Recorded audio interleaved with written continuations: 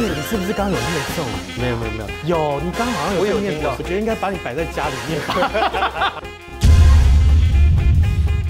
一半多少钱？